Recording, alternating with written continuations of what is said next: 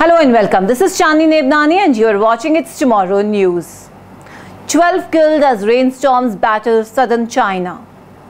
Torrential weekend rains killed at least 12 people in China's southwestern Sichuan province. State media reported on Monday as rising waters sparked mass evacuations during the annual flood season.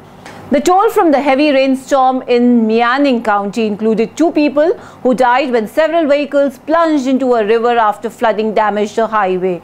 Ten others were missing and more than 7,000 had been evacuated from their homes, the official Xinhua news agency said.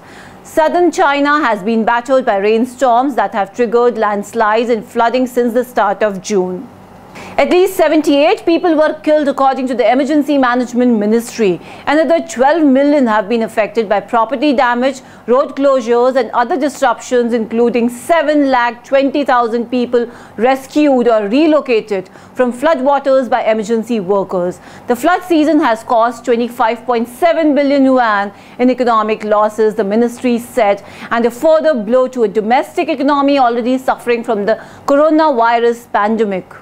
Photos and videos published by state media showed submerged fields and rescuers wading through waist-high water, carrying local residents on their backs. In the nearby megacity of Chongqing, the water level rose more than 5 meters above the flood safety line, setting a new record.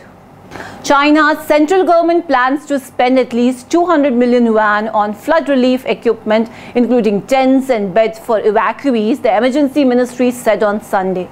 That's all for now. For more news updates, stay tuned with us. It's Tomorrow News, Chandni Nebnani. For more weather updates, do like, share and subscribe our channel.